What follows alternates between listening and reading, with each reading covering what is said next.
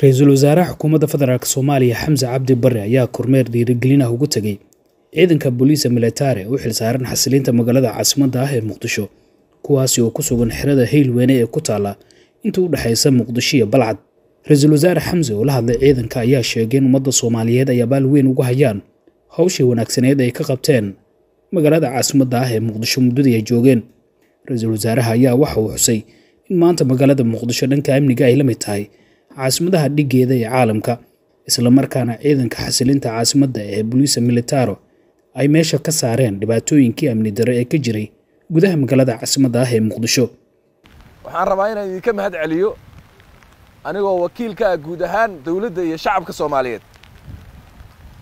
Sida aad u beddesheen wejigii ay magaaladani lahayd caasimadda ah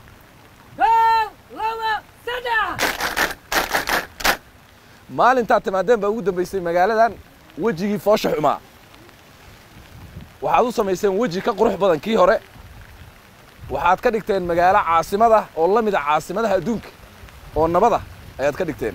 Bilaash kuma imaan waxay ku timid dhiiggiinnay ku timid geesinimadiinnay ku timid dadaalkiinna habeen iyo maalin ay ku timid. Marka waxaan rabaa inaan idiin sheego dadka soomaaliyeed dawladda madaxda iyo shacabka way idiin qirsan yihiin arrintaas.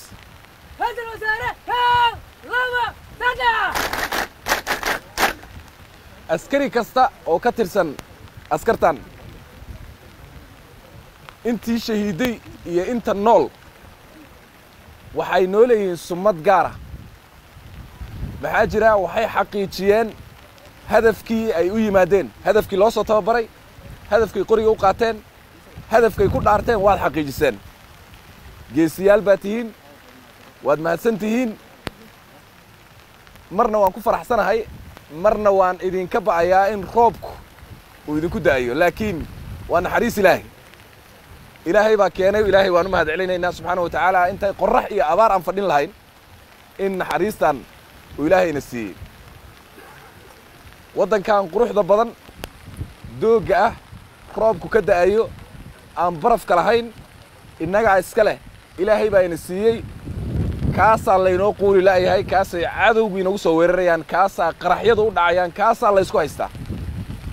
Idinkuna kaasaad difaacaysaan sharaf baad leedihiin dalkiinnaad difaacaysaan ugu dambays dariiqii jannada lagu gelayaad haysaan fa minhum man qadaa naxbahu wa minhum man yantadir waxaa idinku jira qaar horay horay baa u gaadhay ayaga ujeeddadii ay lahaayeen oo janno aaday idinkuna waad sugaysaan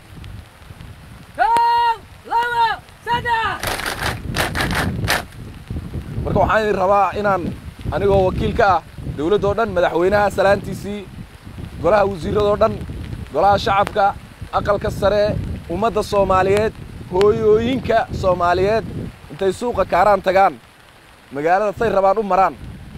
Aad ka takhallusteen ciyaal weeradii iyo khawaarijtii iyo burcaddii intaba salaantoodii guddooma waa mahadsan tihiin waa le ducaad ducaad qabtaan. Aad iyo aad baad u sharaf badan tihiin. Sidaan idiin sheegayna kulligiin dhammaantiin taariikhda ayaad meel ka gasheen waadna u suntan tihiin ummadda soomaaliyeed. Aad iyo aad aad u mahadsan tihiin guul baan idiin rajaynayaa ilaahay idankiis iyo waddankeenna oo sidan oo kale wada noqday. Cagaar nabad roob iyo naxariis iyo innagoo meel kasta isugu nimaadna haddii ilaha idhaahdo dhanka kale ra'iisul wasaare xamse cabdi bare ayaa intii uu ku sugnaa xerada hiilweyne waxa uu kulan looga hadlayay dardargelinta amniga caasimadda la qaatay hay'adaha amniga iyo maamulka gobolka banaadir. Ciidanka booliisa militaro ayaa muqdisho ka howl bilaabay bishii abriil ee sanadkan labada kun saddex iyo labaatanka waxaana ay ku guulaysteen in meesha ay ka saaraan falliddu ku ah amniga oo ka dhex jiray gudaha magaalada caasimadda ah ee muqdisho sida kooxihii ciyaal weerada ee dhaca iyo dilka ka geysan jiray degmooyinka gobolka banaadir. Aadan cali xamed tv-ga shabeelle muqdisho